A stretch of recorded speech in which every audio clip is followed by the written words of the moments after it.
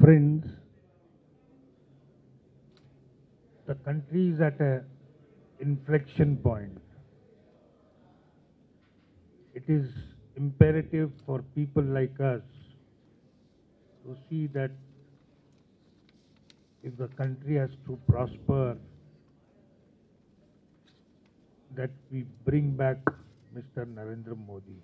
Looking into the last 15 days incident where our own people have, you know, uttered language against our own country.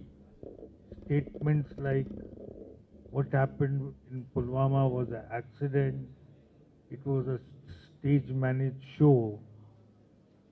I mean, only a terrorist would, or these statements were to come from Imran Khan and not from Congress people. The way they first wanted to botch up Rafale, Rafale deal. See, as it is, our army needs modernization. And fortunately, during Modi's period, we we have acquired, of course, the delivery is about to begin of Rafale, then the anti-missile system which we have acquired from Russia. so it's only China, Russia, and India will have that technology. The third, we have acquired the latest nuclear weapons submarine from America. We got two latest helicopters, 155 mm guns. So, and even the basic needs like uh, bulletproof jackets, which was so badly needed by our ar- army that we overlooked it. See, the only agenda of the opposition is to remove Modi.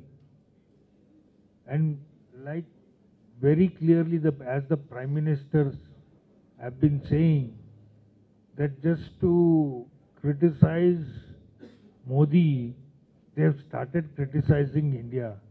And the kind of statements the opposition is making today, it's, it doesn't bode well for the country. And that is on the, uh, see, uh, take today, you know, the Supreme Court has set up a mediation for what? For building a Ram temple. In a country like India, for the last almost 100 years, we had to fight for a temple in our own country where, you know, they can build, we have allowed them, uh, we are a, a secular country in the true sense that if you see across the country, religious places of all communities are there. But for a single Ram temple, which is associated with our sentiments, and we have to fight for it. It's a shame on us. It's a shame on the entire Hindu community that we are not one. And that is the reason why we have lagged behind. That we have always failed to act as a one community. So the first thing is one community. See, the biggest example is the holding of Kumbh. That 22 crores people have attended.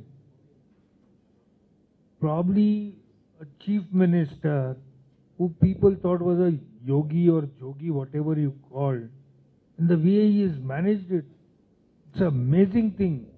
22 crores.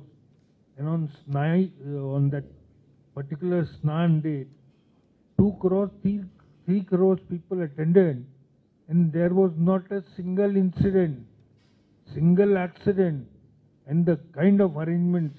Of course, I didn't go, but people who have gone there were amazed. So, this is a government we have to bring back in the kind of social, you know, schemes run by the government.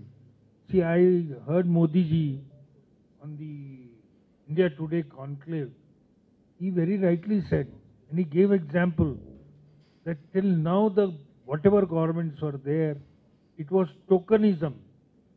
And what we are doing is all inclusive.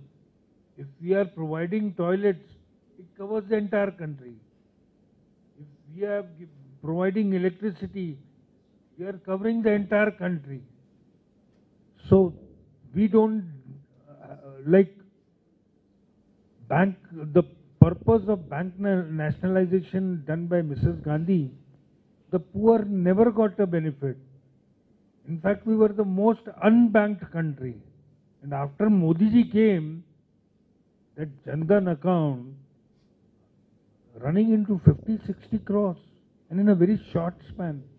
That was financial all inclusion. 75 to 80,000 crores are there in the Jan Dhan. And lakhs of crores have been saved in various social schemes by DBT. So we have to see a government which is performing, which is a corruption free. The first time in India that in five years there was there were no corruption charges. Of course, everybody knows uh, Rafale was all cooked up. Nobody has been able to prove that even one one rupee has been transferred.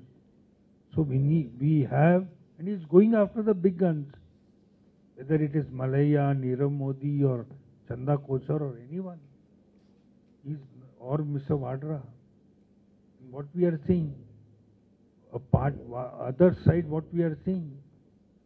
Suppose even if they are able to come, what kind of government we'll have? And this is a, as I said, an inflection point that we need a very, very strong government.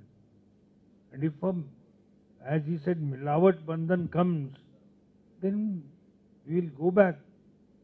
We will go back in that fragile five. We moved out from the fragile five, and again we'll move into the fragile five. So it's a very as I said, sensitive situation. We have to see, we all have to work with all our might to see that Modi ji comes back. Because it's not in our personal interest, it is in the interest of the nation. And I'm sure, as he rightly said, Modi ji rightly said, that the first five years was for laying the foundation in the next five years is to move ahead. So let us work together and I wish Yoganandji, we are there with you and we all have to bring Modi ji once again back and with more than 270.